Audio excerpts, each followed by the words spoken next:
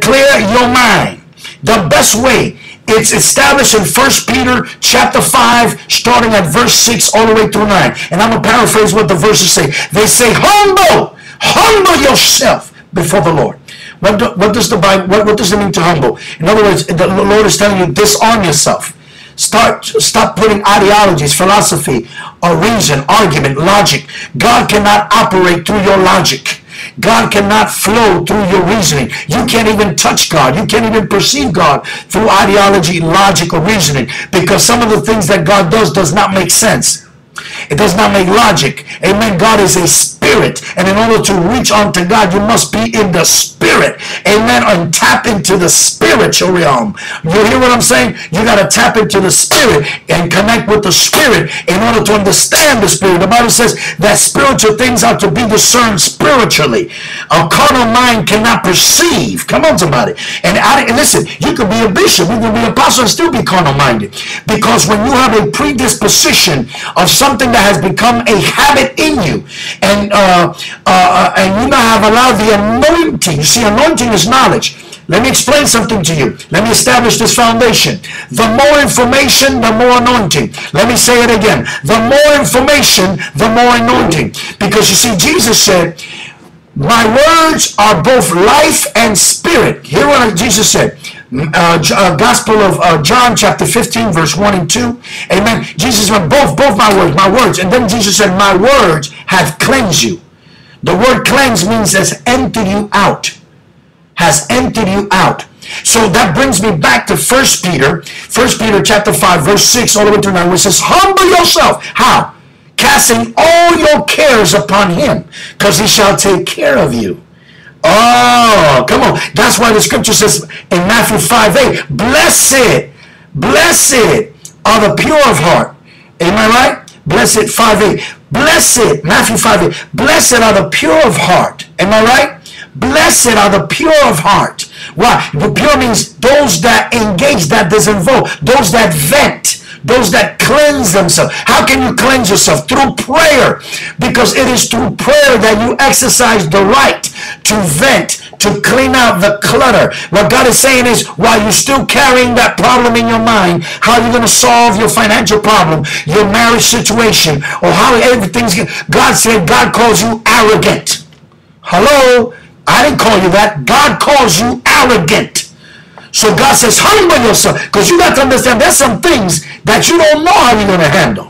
There's some things that you don't know how you're going to go about it.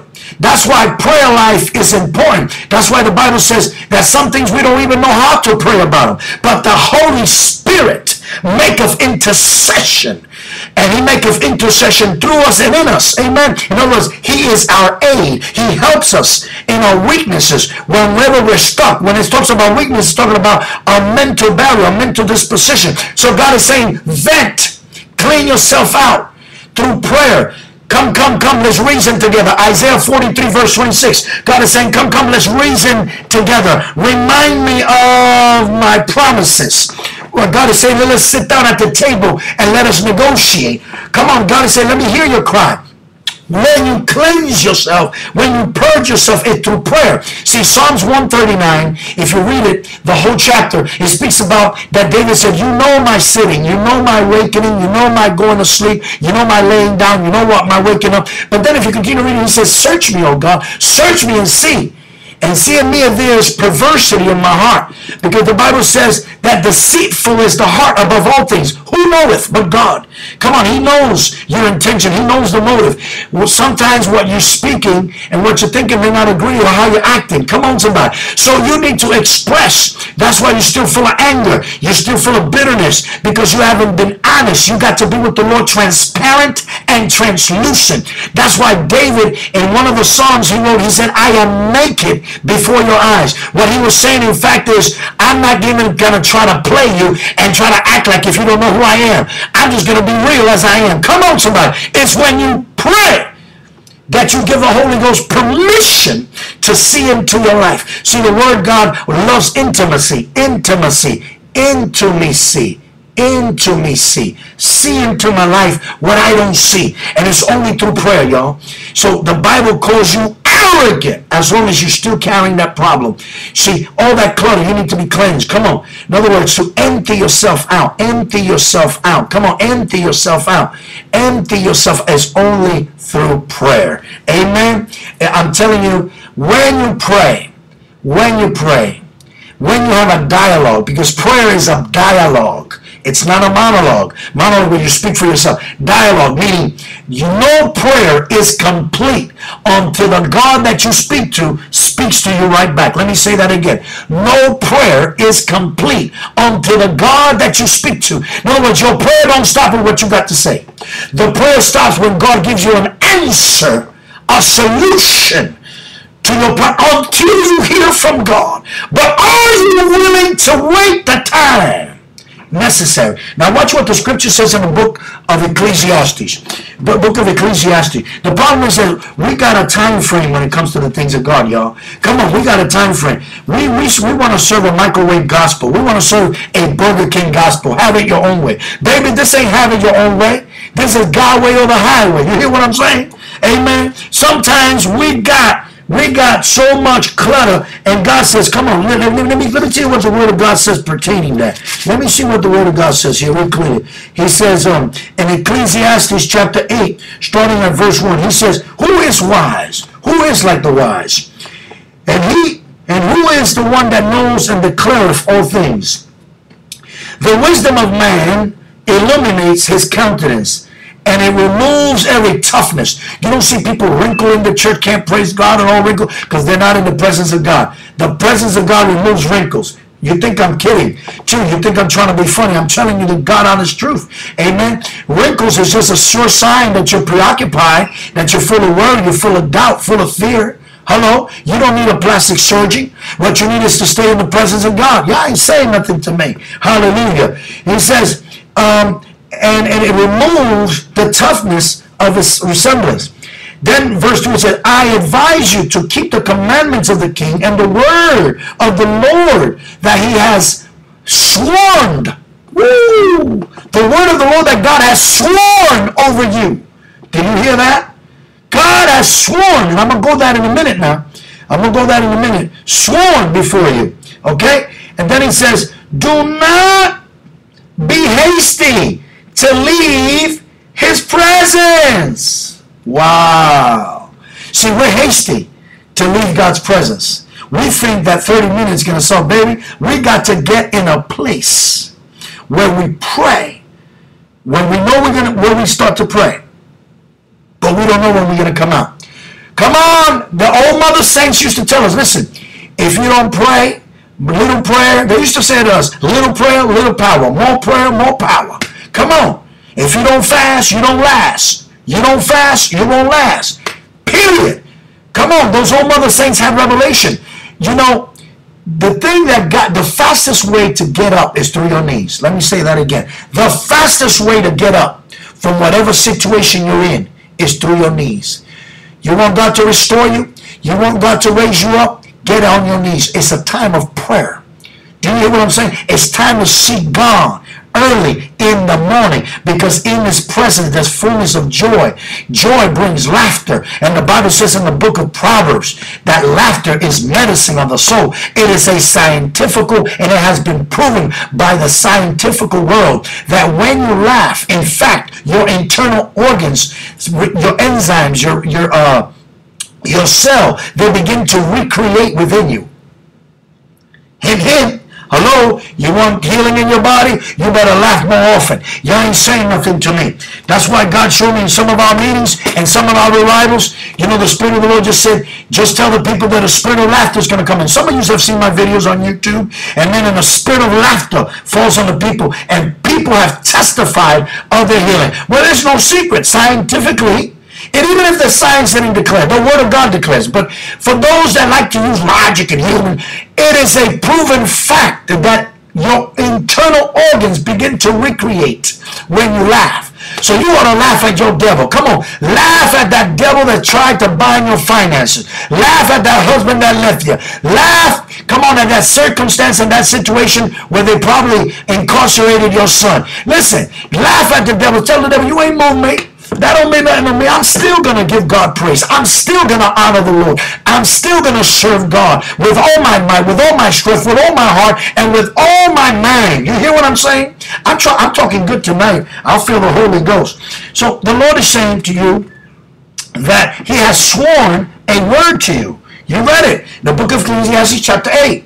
Now you may say, well, preacher, what, where are you getting it? What are you talking about? Well, when you go to the book of Hebrews, chapter 6, verse 9, you know what? Get your Bible let's go with me. Let's go with the Holy Ghost. How, how about that? Let's go with what the Holy Ghost wants to say to us. Hebrews, when you go to Hebrews, it's right there. Thank you, Lord. Hebrews. That's why I thank God for my Bible. How many know that when you got a relationship with your Bible, you can find stuff that you can't find in nobody else's Bible? Amen. I can tell folks that study the Word of God, I just got to go through the pages of your of your Bible, and I see, if I see a highlighted and I see footnotes, I know you study the Word. If I don't see none of that, I know you don't study the Word. Period. Point blank. Amen. Look what it says here. Uh, Hebrews chapter 6, verse 9. This is Paul. It's believed Paul is the writer and the author of this book. Uh, and I'm not going to go into all the theological debates. I believe it, period. Hebrews chapter 6, verse 9. It says, But beloved, I write these things to you for those that are persuaded of greater things. Oh my God. See, he, he's not writing to chicken heads. He's writing to eagles. If you want to see the goodness of the Lord and you want to see higher dimensions, other levels, you got to stop hanging out with the chickens and start hanging out with eagles. See, all the chickens do is cackle and poo. But you see, the eagles can rise above the storm. You ain't saying nothing to me. He's writing to a peculiar people. He's writing to a peculiar people. Are you hear what I'm saying? So, um, I mean, it, it, it's just, it's just, it's just, it's just like that. He's writing to a peculiar people. He said, I write these things to you. In verse 9, uh, Hebrews chapter 6, verse 9. Beloved, those that are persuaded of greater things and that pertain to salvation, even though we speak as such. Look what it's saying here. It's saying that something good, this is what Paul is saying, something good is an enemy of what's better. Let me say that again. Something good is an enemy of what's better. See, because something good offers you comfort, it offers you a, a comfort zone, it offers you a security blanket. But how many know that God is doing a new thing and God is placing demand? God wants you to go into a higher dimension. And in order for you to enter into this dimension, you got to die. Die mention. God already mentioned that you're going to die. Y'all ain't saying nothing back to me. In order to enter, you got to die to yourself. You got to die to your will. You got to die to your philosophy, to the ideology, your theology, whatever you thought was correct. You got to allow God to detox you. Detox you. Come on, somebody. Detox you from what you... The reason why we're not experiencing the fullness is because we're stuck. We're stuck with something good. Aman. So God is saying, and not only that, it pertains to salvation. And you know what God is saying through Paul? God is saying that there are some benefits about salvation. Oh my God, that's good. There are benefits of salvation. I know somebody out there in, in the U.S. streaming world eh, has a religious mind and they thinking, well, I'm content with my salvation. As long as I'm saved, I'm okay. Well, good for you. Praise ye the Lord. Salvation is the biggest thing. It's the greatest thing. We must be saved. We got to be saved.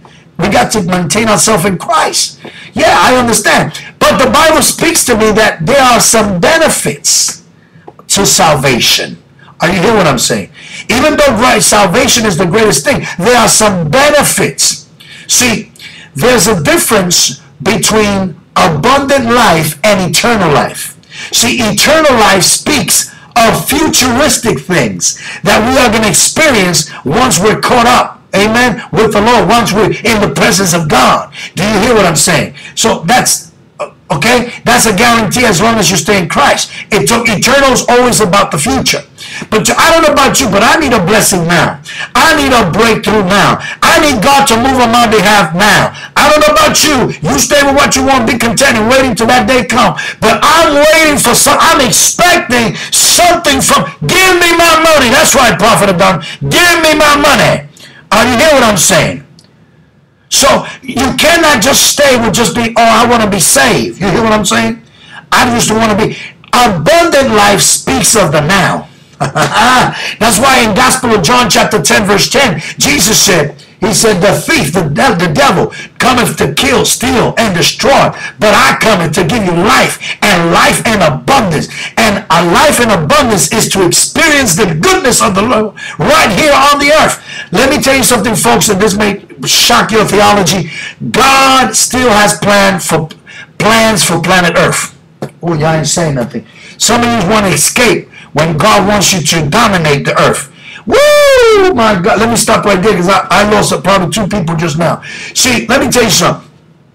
We are to have dominion over this earth. We are, he is King of kings, Lord of lords. Yes, you, you, you, you.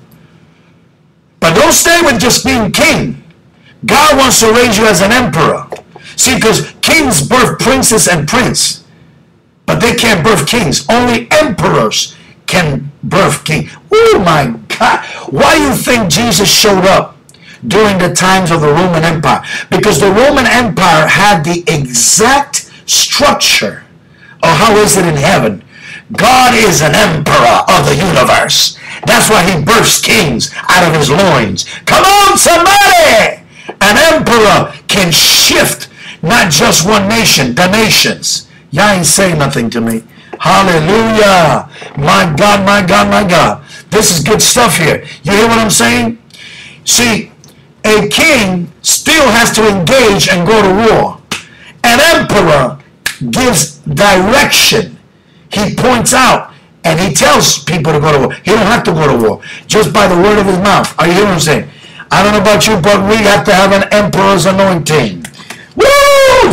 Stay with the good. I want to stay with the better. For there are benefits, and the Bible said, and they pertain to salvation.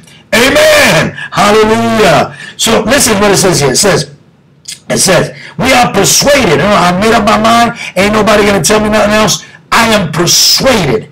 Amen. Persuaded of greater things that pertain to salvation. Why? Because there are benefits to salvation. Let me explain it this simple. What good is a job that pays you $35 an hour? Hear me well. What good is a job that pays you 30 or $40 an hour? You may say, wow, that's awesome. But it has no benefits. It has no life insurance. It has no medical insurance. It has no sick days, no paid vacation days. You ain't got no vacation. You ain't got right. You ain't got no benefit package. Well, guess what, honey? Once you get sick, where do you think that money's going to go? To your medical bills. Oh, but what a delight. If you're making 40 and $50 an hour, and you got a great medical benefit. You got a dental benefit. Come on, somebody! Life insurance, 401k, retirement plan. Come on, somebody! Salvation is great, but baby, I want my benefits. I want my benefits. Come on, somebody! It is. It is in salvation. The word salvation comes from the Greek word soteria, S-O-U-T-E-R-I-A, soteria, soteria, the, which means salute in Spanish, it's derived of the Latin, salute. You know, when you drink up and people say salute, means to your health, your health, because it, it, it, it alludes to someone who is complete. The word soteria literally means to be complete. How many know that God does not does does not do anything incomplete, but He does everything complete. Come on, somebody. God will complete. God will perfect perfect whatever is in your life that needs to be perfected. God is still working in you. That's why the Bible said, faithful is he who called you. Come on, faithful is he who started the work in you. He shall continue and he shall finish what he started in you. The God that I, that you and I serve is a God of completeness. He will complete the job in you. Are you hear what I'm saying? So the word salvation means to complete, to come to a full circle. That's what alludes and imply. That's where the word soteria comes, to complete. Why? Because at the cross of Calvary, and I'm going to be very quickly on this because I just want to get to the point. At the cross, Jesus redeemed you. The word redeemed means that you've been brought. It, it puts you to mind to a slave market. You was a slave being on display on Satan's slave market. Come on, you were being made fun of. You were being abused. Come on, you were being despised. You were being mocked. You were being laughed at. Oh, but Jesus through his blood, he brought you. Oh, when nobody thought that you, when everybody thought you was worthless, worthless, God brought you at a great price. Do you hear what I'm saying? He brought you at a great price. So when he brought you, so the word redeem means to have been bought at a great price and that he made an investment. That's why Ephesians chapter 1 speaks about that he has done an investment. If we go to the book of Ephesians chapter 1, it speaks about a lot how God has made. Why do you think God has not given up on you? In spite of all the stupidity and all the stuff we've done, God still, because he made an investment. It don't, it don't matter who, who believes in you or not. God made an investment. And when God invests, Oh my God. When God invests, he will not stop until he gets a profit. Oh my God. See, understand something. I said that there are promises that are on top of your head, right? I said that, right? That yet have not come to pass. Why? Because God has the power to call things that are in as they were. You and I is God's progressive word in action. So his word, what God has said over us, will not turn unto us, unto him, unto God, I'm sorry, void. Did you hear that? Oh my God. Did you hear that? What he has said over you, there's no demon in hell that can stop. All you got to do is line yourself up with the word of God. The greatest enemy is not the devil. The greatest enemy is you. When you operate in a spirit of fear and a spirit of doubt and a spirit of procrastination. Procrastination is assassination of motivation. Well, I'm rapping too. Procrastination is assassination of motivation. To procrastinate means to put off for tomorrow or what you can do today. Come on, don't tell me you're going to start praying next week. Start praying right now. Start seeking God right now. Now is the time, the favorable time of the Lord.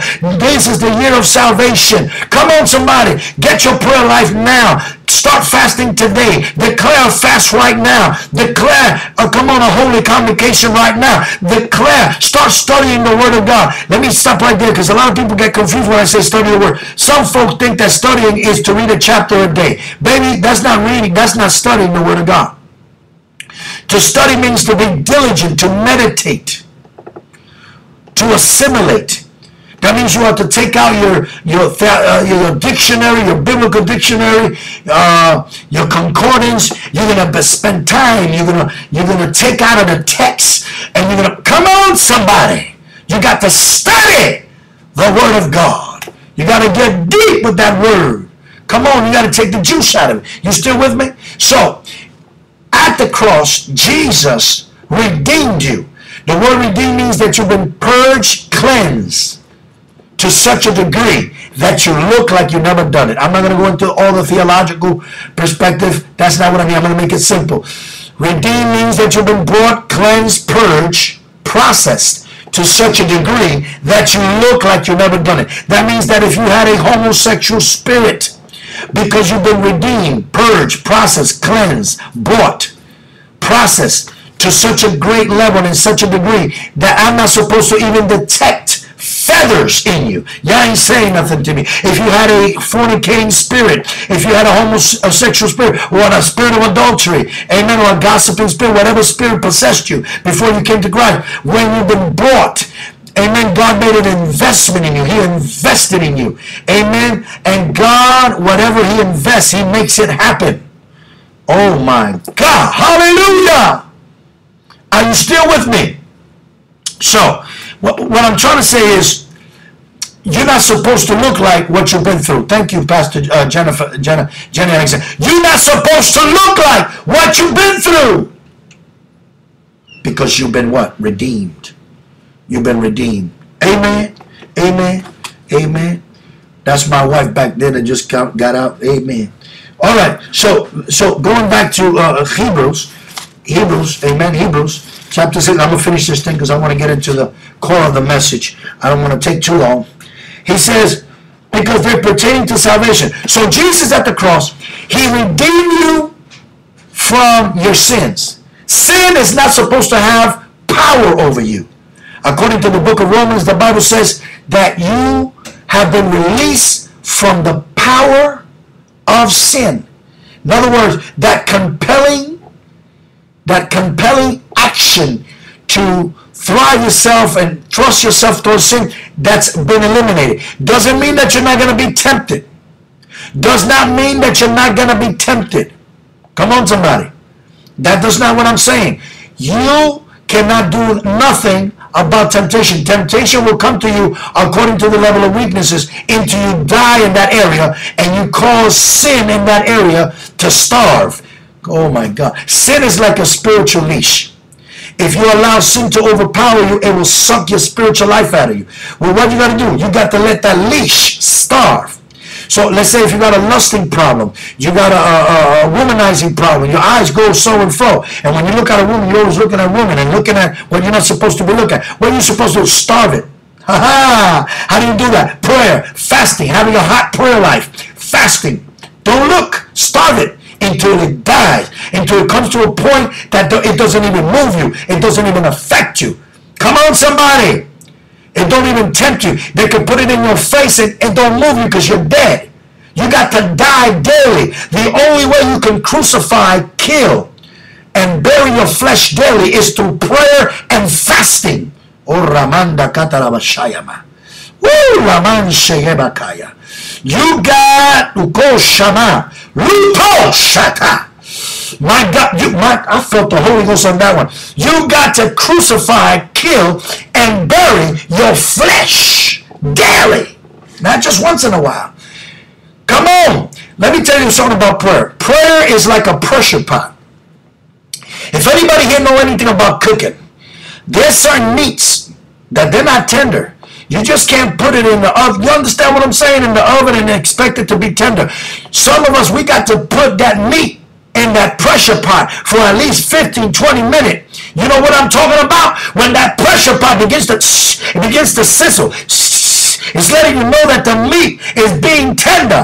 Hamana Abashanda. When you are in prayer, your heart becomes tender and you become sensitive to the things of God. Oh my God Almighty. Can you hear what I'm saying? You got to be tenderized. Come on, y'all help me preach here. Y'all got you got to be tenderized. The reason why some people can't get grasp the word, can't get the word, is because the heart, the heart, the heart is hard, man. And they're always trying to find fault, trying to find five legs in a cat when a cat only has four. You, you know, arguing about stuff, saying stuff that's way out of order, got nothing to do with the subject. I mean, what? Their hearts is hard, man. They need to get in prayer. Don't tell me you're praying, baby, and you can't forgive.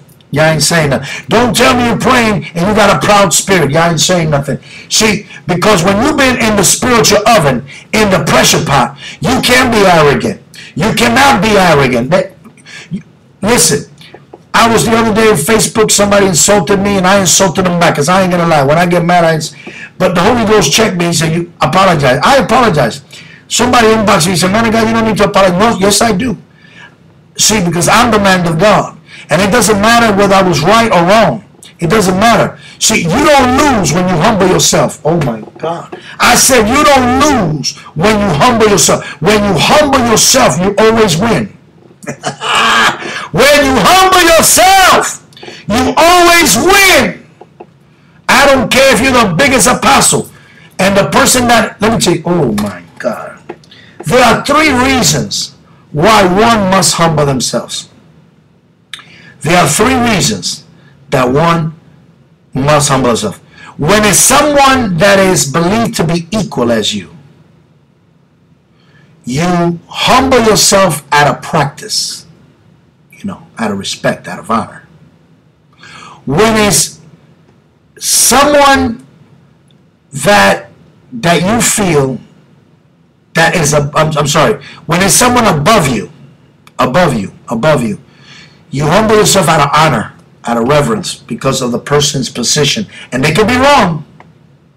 But when it's someone that's equal as you you do it out of practice just to keep that forgiving spirit in you when you forgive someone that you feel or they feel that they beneath you you do it out of a spirit of grace and mercy and compassion exercising compassion. You want to grow in compassion?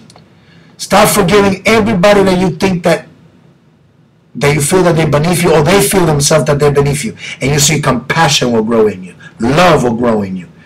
See, wisdom comes through experience. And wisdom births love. I said wisdom is birthed through experience because wisdom is nothing but applying knowledge.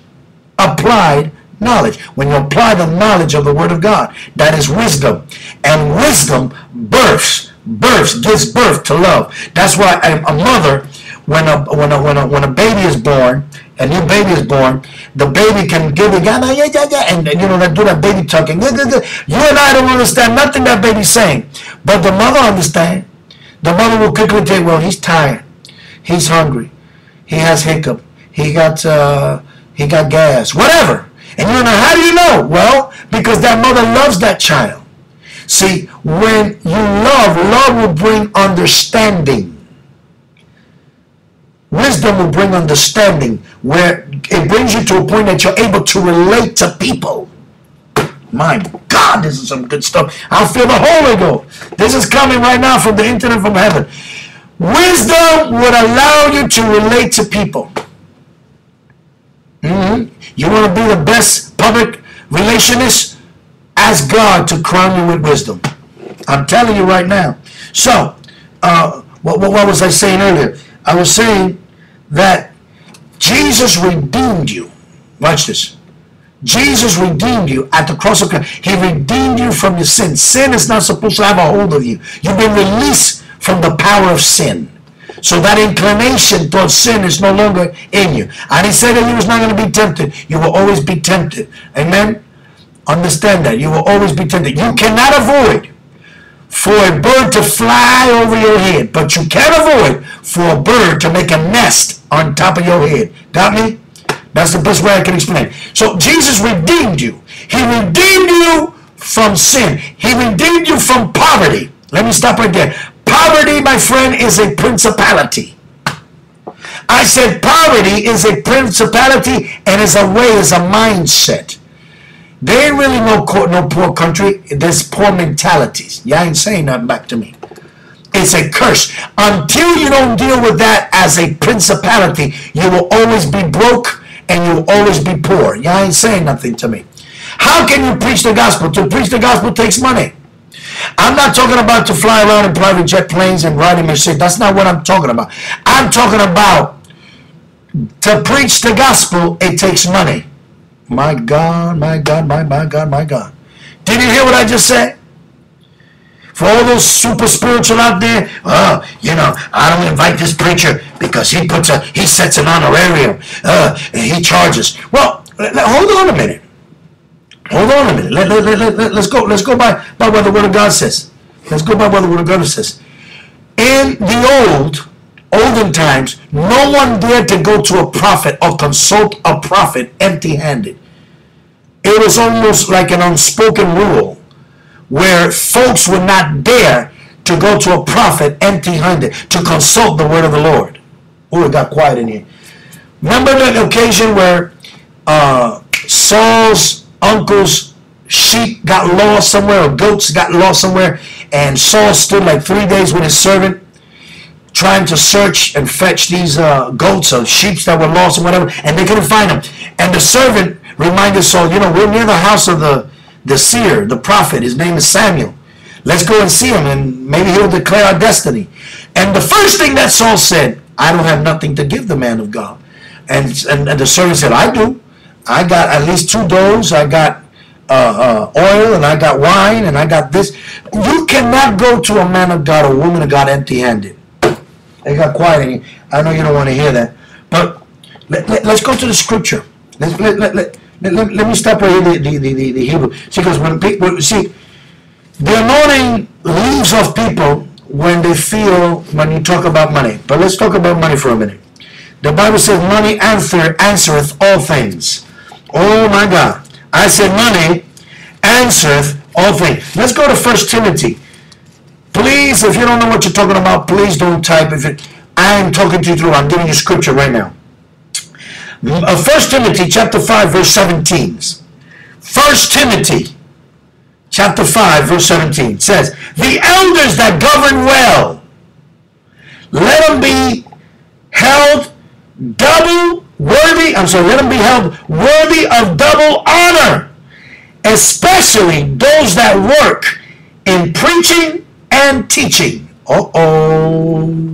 Uh-uh. Did you hear that? The elders that govern well, let them be held worthy of double honor. Not one honor, a double. My God. Especially those that work in preaching and teaching. In other words, what I'm doing, I'm working right now. Did you hear that? I'm working. I was pastoring in a church in Naples, Florida, and I called the congregation. I want everybody to start coming here uh, every Wednesdays and every Fridays at 5 a.m. in the morning so we could do a hot prayer before we go to work. And a lady in the church, a member of mine's, where I used to pastor in Naples, Florida, had the audacity to tell me, well, Pastor, that's easy for you to say, to call everybody to pray at 5 a.m. because you don't work. She said, I didn't work. I said, oh, I didn't work. So I brought her to, I brought to her attention this chapter and this verse. 1 Timothy chapter 5, verse 17. It says, especially those that work preaching and teaching. Baby, let me tell you something. Preaching is hard work now. There is a, a, a, a Christian esthetician. His name is Greg Barna. Greg Barna was a, re, a scientific researcher who tried to do research to try to discredit Jesus Christ and thus try to discredit the gospel. In other words, he tried to find some uh, data, information, and research to try to discredit the whole gospel in Jesus Christ. In his searching, he had an encounter with Jesus Christ, and now he became a Christian. He's a scientific. Well, he's the one that sets up the stats He's a Christian statistician.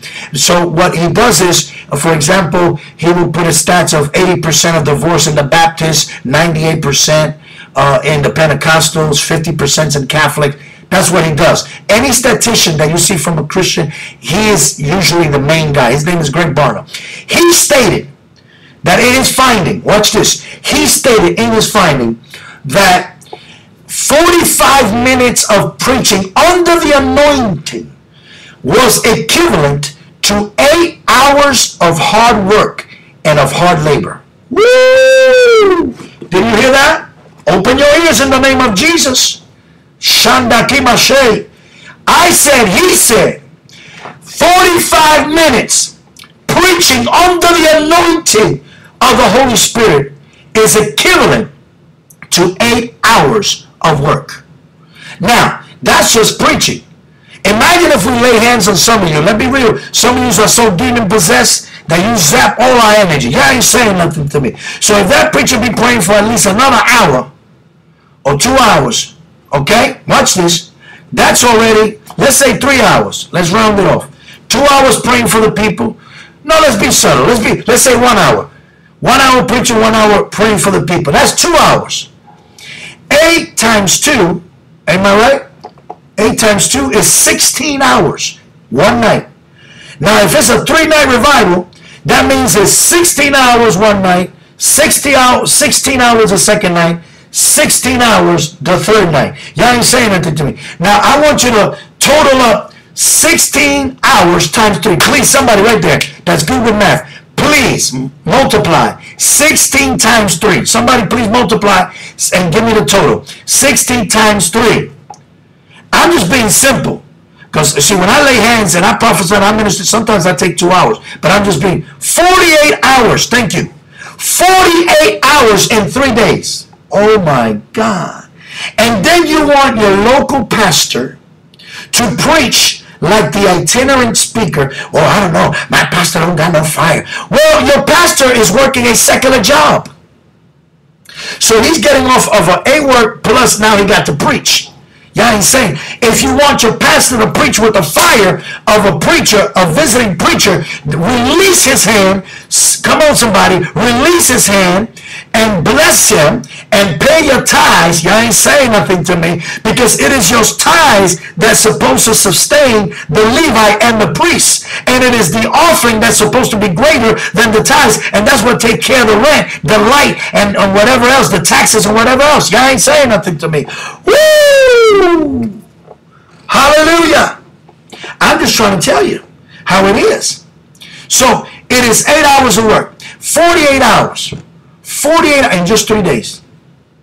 48 hours in just three days. The anointing.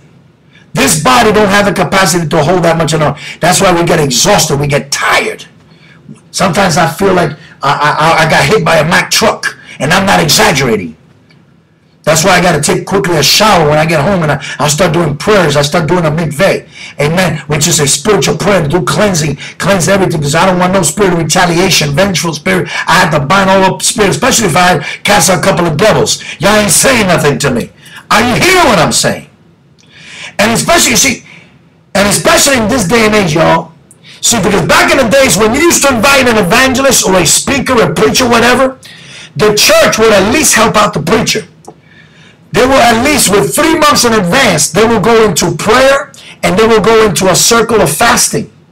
When I mean a circle of fasting, a chain of fasting, they will have a group praying on Mondays, Tuesday, Wednesday, Thursday, Friday. So by the time the preacher came in, the atmosphere was set. The church was receptive. The church is ready. Some of y'all churches, man, we got to break stuff. We got to tear down. Because from the pulpit up, down is tore up and jacked up. Because the, the first one that's bound is the leader that can't open their mouth. I was preaching in a church and all the bishop would say, hey, Anashata, Anashata, Anashata. Dried up tongues dried up weakling tongues. Amen. You're a wife beater. Yes, and I hope you're listening to me right now. Y'all ain't saying nothing to me. That's why the Spirit of God can't move. Are you hear what I'm saying? Because you want a prophet to come and tickle your fancy and talk about you're going to get a car. Or jump around three times. God said you're going to get a house. Here's the keys to your house. That's the kind of prophet you like. But when a prophet tells you you got to stop laying up with men because you're, you're, you're a homosexual or you're a lesbian. Come on, you got to stop quit that adultery. You got to be a, stop being a You ain't saying nothing to me. Come on, we got to preach truth. The uncompromised word of God. You ain't saying nothing to me. Hallelujah. Are you hear what I'm saying? So I'm a, I'm a hard-working man. I'm a hard-working evangelist. I'm a hard-working prophet. See, I like to see everybody blessed. I'm not the one that just come and just pray. Uh, you know, I like to see everybody delivered. I like to see everybody blessed by the power of God. Amen. So that takes effort. That takes work. Come on. And I work with the Holy Ghost. Some preachers just come and they pray for whoever they feel that is good to pray for. You know, that they feel easy. They even pray for those He said, well, this one, I know if I lay hand, they're going to fall backwards. Amen. No, no, pray for that big one right there. Come on. But that big joker that don't even believe a word you say, prove that you really got power. Y'all ain't saying nothing to me. Hallelujah. So, it's hard work. So going back to the money issue thing. Going back. And then it says in 1 Timothy chapter 5, verse 17, verse 18 said, For the scripture said, You shall not muzzle the mouth of the ox. Woo! For worthy is the worketh of his salary. Wow salary. Let me say it again. Salary. What is salary? Can, can somebody please define me what salary is? Because I can define it very simple. Salary is after you work, your compensation, your reward, your agreement, or what was going to be your compensation. Salary is an agreement of what you wanted to be compensated for. For your time, your energy, all invested for those that don't agree with honorariums and salary. It's right there. Hello? And it's unfortunate we have to do because some churches, they're not conscious at all. They invite a speaker, okay?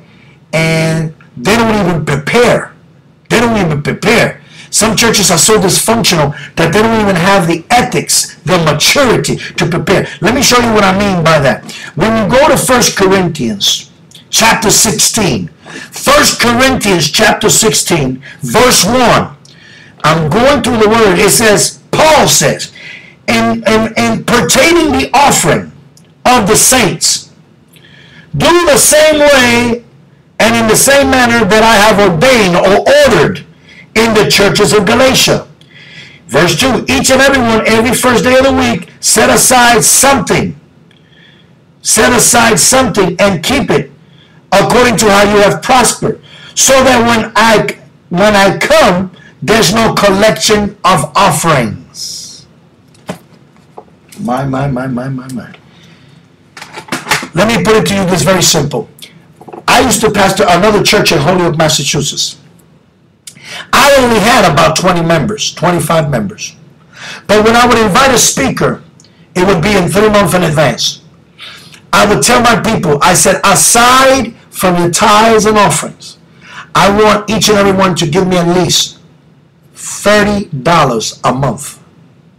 $30 a month. So when the preacher come, now if you summarize, see, some people say, well, I got a small church, I can't invite you. Plan ahead! Plan ahead! Because a man or a woman of God is a representation of Christ. And see, and I'm not the type of preacher that tells you you got to pick me up in a limousine. I don't do none of that. Pick me up in a nice car. At least clean. Smelling good. Amen. I don't have to be in a limousine. But if you can cater to me, praise the Lord. Why not? I cater to my preachers. When I invite a preacher, I cater to them. Because I understand. If Obama said I'm going to visit you, believe me, I don't care how poor you are. You will do whatever. Come on, the President Obama said he's visiting your you. You will clean up your dirty house. You ain't saying nothing. You won't even probably rent the home. You ain't saying borrow money. You ain't saying nothing. Come on, somebody. How much more? How much more? How much more? A man and a woman of God. Because how you treat that man and a woman of God, you're treating Christ. Hello? You prepare in advance. You got to prepare in advance. Amen? So, you know, I, I got invited one time to South Carolina with six months of anticipation. I checked the plane ticket. They didn't even pay. They didn't even pay two hundred and thirty dollars for the plane ticket, both ways. The only thing that was good out of that, I'm gonna tell you, got got on a show was the was the hotel. That's it. But they didn't give me a food stipend. I had to pull out of my own money to pay for my breakfast, lunch, and dinner. Y'all got quiet in here, but I didn't complain. I'm thinking they're gonna take care of me in the service. The service was packed out. There was at least 12 pastors in the pulpit. My offering that day for two nights, you ain't saying nothing to me. For two nights, I cast out devil. I prophesied to everybody up in there. There were signs, wonders, and miracles. Gold, silver filling. I mean, all kind of things God did in there. $165. Hello? Mind you, they came to pick me up in a van full of garbage, full of McDonald's, Burger King. I'm not kidding. I'm before the presence of the Lord. I had to literally uh, put my feet around like that, and they were like, "Excuse me, I'm sorry, Apostle, excuse the mess. You know, we didn't have time to clean. Six months, but they didn't have time to clean. Six months that they had invited, but they had time to clean. Uh, hello, come on, somebody. Are you serious? Are you serious? Somebody told me they drove, right now they're writing, that they drove to North Carolina, preached and prophet and got $25 all love offering. Are you kidding me? You must be out your mind. But you see, we don't want to bring the true women and the true men of God, but we want to bring in faggots, prophets that have homosexual spirits. We want to bring, why? Because we're pimps. And I hope that you're listening. If you're a pastor, you're a pimp. You may say, well, we don't invite Perez because he's not good at collecting offering. But he's good at casting out devils. He's good at this and good at that and provoking revival and for praying for those that don't have the baptism of the Holy Spirit with the evidence of speaking in tongues. He's good with that. But, you know, but you invite the, that, that lesbian prophetess that's been married at least three or five times. You ain't saying nothing to me. You're quiet. Three or five times, but you invite her because she could collect a good offering and you're behind the rent or behind your mortgage two or three months. You are a pimp, sir. You ain't no pastor. You are a pimp. I tell you, God on this truth, me as a pastor, the moment I got to start doing that thing, I'll quit pastoring. Because that means that God sees him backing me up. Y'all got quiet in here. Y'all got quiet. Y'all ain't saying nothing. Somebody say amen. Are you hear what I'm saying? You are a spiritual pimp. See, you got to treat the man of God right. So now I have a set honorarium. You know, I even send out contracts sometimes because I don't trust folks. Come on, somebody. Because I've learned. One time I was really humble, whatever, you know, you give me whatever. But some people, they like to take advantage of the anointing. I ain't going to let, I got a family to feed. I'm not on welfare. I don't got an SSI check coming in. I depend on the goodness of the people of God. Ooh, it got quiet in here. I'm speaking you through the word of God. Now, let's say, let, let, let's go to, to what, what Corinthians. Let's go further to Corinthians. Let's go with Corinthians. I like Corinthians. I don't know about you. First Corinthians chapter 9, verse 13. Read it. Please read it with me. I'm giving you the word. First Corinthians chapter 9, verse 13. He says, Don't you know that those that work in sacred things, they are to eat of the temple? And those that serve at the altar, from the altar they shall participate? Because the Lord commanded it so. Uh-oh. So it's not man. Who commanded it? What does the Bible I'm reading from the Word of God, y'all. Please go with me so you please tell me I'm a lying preacher. I'm telling you that answers 1 Corinthians chapter 9, verse 13 on. And verse 14 says, those that, and especially because the Lord commanded this, that those that announce the gospel or preach the gospel, that they are to live off the gospel. Woo! I submit unto you can I live off 20 bucks with a family? Crickets, crickets, crickets. Can I live off of $50? Crickets, crickets, crickets. Do you understand my drift? You understand what I'm getting at? You hear what I'm saying? Even Jesus, even Jesus, they you can't get better than that. You can argue with me all you want, but you can't get better. Even Jesus, Jesus, Jesus God incarnated in the flesh. Jesus did not go nowhere where he was tolerated. He will go to only places where he was celebrated. For this is a season to surround yourself with people that celebrate your purpose, your destiny, and your assignment. If they're not celebrating you, then they're, they're tolerating you. And wherever there's toleration, there is no honor. And where there's no honor, you shall never reap a reward. In other words, you're wasting your time. Y'all ain't saying nothing to me. Hallelujah. Are you hear what I'm saying? So Jesus, watch this. He called 12 disciples. The majority of those disciples were married men. Now I'm going to pose a question. I'm going to submit it out there. I'm going to put it out there. Do you believe God and do you believe Jesus Christ to be responsible? Do you believe God and Jesus Christ to be responsible? I am I am pretty sure you have answered yes. Now let me ask you another question. Do you believe God and do you believe Jesus Christ wants us men to be responsible with our family, with our wives, and with our children? Do you believe that God wants us to be good providers? The Bible said a good father, right? A good father, what? Lays up what? Wealth for the second and third and fourth generation. Y'all ain't saying nothing to me, right? Why? Because the majority of these men were married.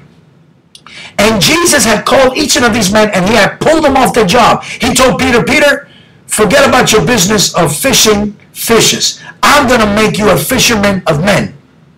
Peter was married, y'all. Y'all ain't saying nothing to me. I'm trying to tell you. Twelve disciples. The majority were married men. He had 12. Three were intercessors. Peter, John, and Jacob. Those were his immediate circle, his inner circle. Into three of them, two of them were uh, scouts. They were coordinators. They coordinated where Jesus was going to sleep, where Jesus was going to eat, where they're going to eat. They were the honor. And Judas Iscariot was the treasurer. He had the money. Hello? Listen to this. Now watch this. Watch this. Let's analyze this. Let's go step by step. Judas Iscariot was the treasurer. Now watch this. Judas Iscariot was the treasurer. And the Bible says, and the gospel is registered, that Judas Iscariot stole from the treasury of Jesus' ministry. Uh-oh. Now, watch this. They wrote the gospels, which are simply biography of Jesus Christ. After Jesus died and was crucified, crucified, died and buried it, he resurrected from the, the gospel will read way over. It goes to show you that so much money was entering into the ministry of Jesus Christ that whatever Judas Iscariot took, they didn't even notice it into afterwards. Y'all ain't saying nothing to me. Hello? So they had to write it. They had to expose it. That means a lot of money was coming in. That whatever Judas stole, they didn't even notice it in the beginning. Y'all ain't saying nothing to me. Now, the Bible said that Jesus went to a certain place and he cannot perform many miracles. Watch this. He cannot perform many miracles. It didn't say he didn't do any. It said he couldn't perform many. In other words, the level of impact, the level of the anointing, of grace, of power. You know, when Jesus will come up to play, he will revolutionize the whole. The Bible says because of what? Because of unbelief. Let's analyze this. Let's take it step by step. Unbelief. Unbelief means I don't believe in you. Unbelief means I don't trust you. Unbelief means I'm weary of you. Unbelief means I'm not going to be supportive of you. So if I'm not going to be supportive of you, there's not going to be no what? Hello? There's not to be no what? No money. Because if I don't believe in you and I'm not supportive of you, I'm not to I'm not to give you my money. Hello? What did Jesus do? Did he continue the revival? Did Jesus continue the revival? No, sir. He stopped the revival and he went to another region teaching. Hello? Jesus ain't going to waste his time where folks don't celebrate and don't honor. Because when there's a place where there's no celebration and no honor, there will never be no reward. You're wasting your time. Hello? And that was Jesus. For those that are like, oh, Jesus preached for free, and you know, he was so loving and mercy. No, sir, Jesus had to take care of 12 men who he told, let go of your jobs and follow me. God will never put you in a vision if, there, if he don't guarantee provision. Oh, I'm trying to tell somebody here. Hello? God will not, thank you very much, you sow into what you believe in. They wasn't believing in Jesus, so they were not sowing. Hello? They were not sowing into the life. So Jesus cut the revival short. And yeah, people were being saved and delivered, but guess what? He had to sustain some people. See, God don't need your money. Your money is a sign of gratitude, of appreciation. If your money is your all to you and you can't release your finances, God can release his best. See, God cannot understand stingy people because God ain't stingy. The very nature of God is to give and give and give and give and give. And when God gives, he don't give second hand. He gives his best. Ain't Jesus Christ the best? Huh? Ain't Jesus Christ the greatest gift that God could give to the world? When God gives us, that's why God look at some of us and he and God shake his head. He'd be like, he cannot be my daughter. Because she don't look like me. She don't act like me. He don't. Mm Some of you right now, God is probably telling you, give that man a hundred dollars, and you're fighting the devil. Because let me tell you something. When it comes time to giving, that's the time when the devil more speaks to you. That's the time that the devil really speaks to you. When it comes to the time of giving. Woohoo!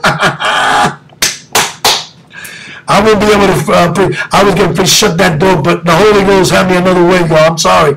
We're going to have to do this for next Wednesday. Shut that door. See, you got to understand something. The level of perception that you have of your leader is the level and the measure that you're going to get back. Perception is everything. Because your destiny and your future is locked in the loins of leadership. Meaning, in other words, if you're going to get anything from God, you're going to get it through your leader. You ain't saying nothing to me. Hello? My, my, my, my, my, my, my. God is saying, you're stingy. You're stingy. Come on. You already count how much you're going to give. Okay, I'm going to give $40. This is for the church. This. But when you spend to buy things for you, you don't care if it's a $1,000. Even if you ain't got it, you'll still put it on credit. Y'all ain't saying that you'll put it on layaway. Y'all ain't saying nothing to me. Y'all got kind of quiet here on me. All of a sudden, I start talking about money. Hallelujah! Your level of possession is everything.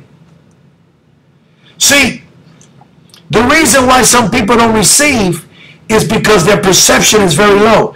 If you don't think you're going to get anything from your leader, you ain't going to get nothing. Because when the oil flows, it flows from the head down, not from the feet up. If you're going to get anything from God, you're going to get it to your leader. Because your destiny and your future is locked in the loins of leadership. Hello? Prophet Elijah, perfect example. God said to the prophet, because let me tell you something. Whenever there's a crisis, a prophet would show up. Let me say it again. Prophets only show up in moments of crisis in your personal life. It could be in your personal life. It could be in the body of Christ. Prophets show up in moments of crisis.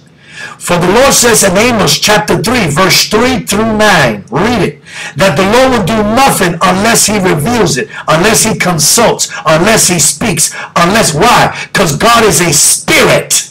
God is a spirit. God don't indwell in a physical body. So he needs to use a physical body as a vehicle, as an extension of his hand to communicate his purpose and his will on the earth. In order for God to execute his plans and his enterprise on the earth, he needs to indwell in a physical body. And what better than a prophet? The Lord will do nothing unless he, what? He speaks it or consults it or reveal it unto his prophets.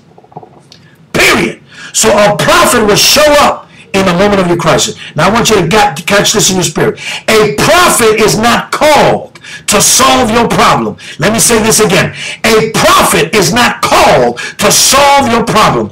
A prophet is called to challenge your faith. And it is your faith that, that solves the problem. Let me say that again. A prophet is called to challenge your faith. And it is your faith that solves the problem. Because when God spoke to the prophet, come on, Thank you for that scripture, man of God. Second Chronicles 22, 20, 20 says, Believe in the Lord thy God and believe his prophets, and so you shall be established. Period. Prophets and God are connected. I'm not talking about a wishy-washy prophet. I'm talking about a true prophet. Y'all ain't saying nothing to me. Are you hear what I'm saying? Some of you want the meat. Some of you want to be fed. All of that's feeding down But sometimes you got to release so God can release his hand. Y'all ain't saying nothing. God spoke to the prophet Elijah. And he said, and I'm finished. I'm almost finished. God spoke to the prophet Elijah. And he said to Elijah, he said, the brook has dried up.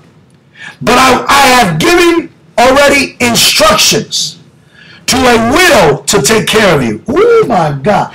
I said, God said to prophet Elijah, I have given instructions to a widow to take care of you. God don't lie, y'all. God don't play with people's feelings. If God said he given that widow instruction, that means that widow was in a crisis. Come on, somebody. And she must have been talking to God in order for God to talk to her. Oh, and that's when the prophet showed up in a moment of crisis. This woman had a crisis. The Bible said there was a famine in the land because the prophet had released the word into the atmosphere and heaven shut up. Shut up because, because the uh, Ahab had induced and Jezebel the people into idolatry. Amen. And all Elijah did was enforce God's law on the earth. We as a prophetic people, we are spiritual enforcers. We are supposed to enforce the law of God on the earth. So he decreed a thing by the word of the Lord, by the word of the Lord in his mouth. He said, I decree and I declare. Notice he didn't say, I feel by the Spirit. I hear the Lord say. He just said, I decree Ahab, and I activate what Deuteronomy chapter 28 says and Deuteronomy 30, chapter 30. See, from uh, Deuteronomy chapter 28, from verse 1 to 14, it speaks of the blessings and the consequences of obedience. But from verse 15 to verse 58, it speaks of the consequences or the curses for disobedience. And when you weigh things in a balance, you will come to find out that there are more curses for disobedience than blessings of for obedience. Y'all ain't saying. And one of the curses that God launches that if my people was to go astray, behind other idols and other gods, I will close up the heavens. So all the prophet Elijah did was enforce the law of God. And he told Ahab, because you have induced the people into idolatry, I decree and declare that heavens will close for three years, but by my mouth. So that affected, that crisis affected the land of Israel. And this widow was affected, and God sent it to her. God sent the prophet Elijah because God will only send a prophet in a moment of crisis. Y'all ain't saying nothing to me. I wish I had somebody that can say hallelujah and amen. And the Bible says, he said, the Bible says that when that woman saw the man of God, the man of God, because let me tell you something about the nature of the prophet. A prophet can transmit the very sentiment or feeling of God. So if the prophet is angry, in fact, God is angry. That's called theanthropos in the Greek, where God allows the prophet to almost make God human, to transmit his feeling. So if a prophet is happy, God indeed is happy. You ain't saying nothing. Because it is a prophet who becomes an agent of mercy, of compassion, or an agent of judgment. Oh, you ain't saying. It's a prophet who is God's extension on the earth to reach out. Now watch this. When the prophet showed up, you know, when people don't understand the nature of a prophet, they believe us to be arrogant. They believe us because they don't understand the anointing. They believe us to be presumptuous. Or think he all that in a bag of chips. No, baby. Let me tell you something. Because when the prophet showed up, he didn't even have the uh, the decency to say, hello, how are you doing? How's everything? I hope everything's going well for you. No. His greeting and his salutation was like this.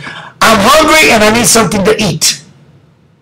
And the woman tried to explain, well, you know, if I give you something to eat, then me and my son is going to starve. This is the only thing we got. You know what the prophet said literally? He said, look, I don't want to hear all of that. Feed me first. Then we get more arrogant. Feed me first. Oh, come on, somebody. Some of you, God may be asking you, feed me first. You, come on. Come on. Release what you need to release. I don't know what's big in your life, but if you need a miracle, God is saying, release what's in your life. See, and her obedience, because the perception that she had of Elijah was good, the Bible says she fed him first. And by she giving him first, that gave her substantial resume that when a year down the road, listen to me, when a year down the road, her son died because she understands something. She didn't even know that her son was sick because nobody dies suddenly. You must have been sick in your body and the doctor did not detect it. You ain't saying nothing to me. The Bible said that the son of that widow died suddenly. That means that boy was sick. But understand something, baby. Your giving has given you substantial resume has given you the God-given right to place a demand on God because you gave God first. But if you haven't given God nothing, you ain't saying nothing. Some of you want to withdraw out of your spiritual bank when you haven't made a spiritual deposit. I'm trying to tell you that because she obeyed the man of God, because she obeyed the word of the Lord, the Bible said, my God, I feel like preaching in here. The Bible says that she went and she said, said, look at here. The, listen, I've been feeding you for at least a year. I've been washing your clothes. The least you can do is go and resurrect my son. You see, her giving gave her legal right, gave her legal right to demand, to place a demand on God. Woo! My, my, my, my, my, my. Are you hearing what I'm saying? So let's stop this nonsense about money. The Bible said money answers all things. You ain't saying nothing to me. But I want to finish this thing in Hebrew. The Bible says in Hebrew 6 9, uh, continuing, uh, continuing it says, For God is not unjust to forgive our work and our labor of love that you have shown towards his name, serving him and serving the saints and still serving them. Verse 11, But we have desired that each and every one of you show the same persistence See, that's the problem. That's the reason why we don't get blessed, because we're not persistent. Towards the end, come on, that you may have that which you have been waiting for, so that you don't become lazy, but imitators of those that through faith and patience have inherited the promise. Because when God made promise unto Abraham, not, not because he could not swear upon no one greater I'm reading verse 13 of Hebrews chapter 6, verse 13. Hebrews chapter 6, starting at verse 9, all the way to 15. Are you understand? But I'm on verse 13. He said, let me paraphrase this whole thing. I won't be able to read this thing. I feel the Holy Ghost. This is what happened. God looked from the north, south, east, and west, trying to find somebody bigger and greater than God. God, God the Father, was looking on the earth, north, south, east, somebody greater than him to swear upon. I submit and ask, is there anybody greater than God? The Bible said not finding. The Bible said he swore upon himself. And he said, surely I shall bless you and I shall multiply you. He told Abraham.